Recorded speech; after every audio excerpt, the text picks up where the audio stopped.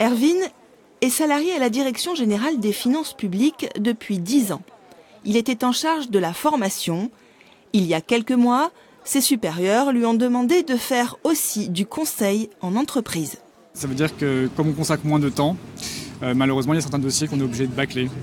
Euh, c'est pas des choses qui sont forcément euh, visibles de l'extérieur euh, directement pour la mission que j'exerçais parce que ce sont des collègues, c'est la formation des collègues. Le, le, public ne s'en rend pas forcément compte directement.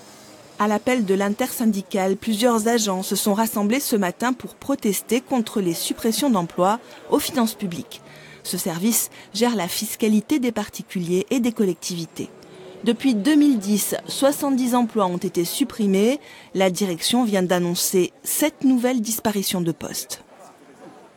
Ce sont des structures qui sont impactées. Ce sont encore des trésoreries qui, à terme, vont devoir fermer, surtout dans le milieu rural. C'est une grosse source d'inquiétude pour nous. On a déjà perdu la, la trésorerie de Porto-Vec au 1er janvier. Euh, toutes les trésoreries se trouvent fragilisées sur l'ensemble de la Corse. Hein. Euh, au 1er janvier 2019, plus aucune trésorerie en milieu rural euh, ne s'occupera du recouvrement de l'impôt des particuliers. Plusieurs maires des environs d'Ajaccio étaient présents pour soutenir les salariés.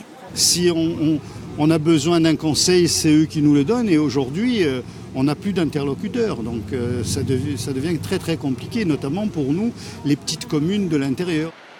Les syndicats demandent l'application de la loi montagne qui prévoit de réévaluer le niveau des services publics. La directrice des finances publiques en réunion à Paris était indisponible pour répondre à nos questions.